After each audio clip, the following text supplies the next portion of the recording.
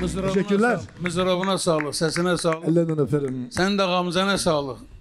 Elinize sağlık gidiyorsun Hanım. Teşekkür ederim. Hep Sağ olun. gidiyorsun. Şimdi küçükken Sincan'a konsere geldin. Sincan Spor'a. Ben çok Evet. Biliyorum geldim. Bir abimize rica ettim. Dedim ki imparator beni dedim bir görse olur mu? Sen de kucağına aldın. Var mı resim? Bir yanlış yapmasın Hüseyin seni Yıl- kucağına yıl- alarak. Yıl kaç dedin? Çok kilo olmuşsun. Hadi.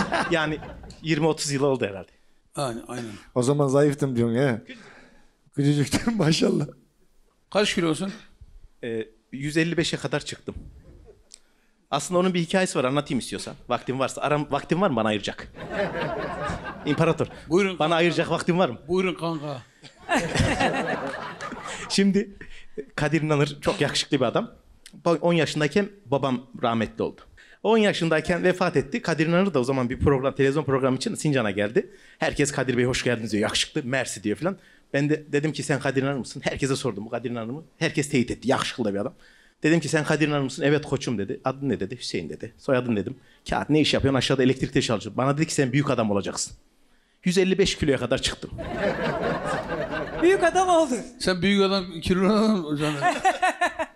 Ama yüzü var ya, yüzüne bak yüzüne. Hep gülüyor, hep gülüyor maşallah. Allah seni hep güldürsün. Amin inşallah. cümlemizi.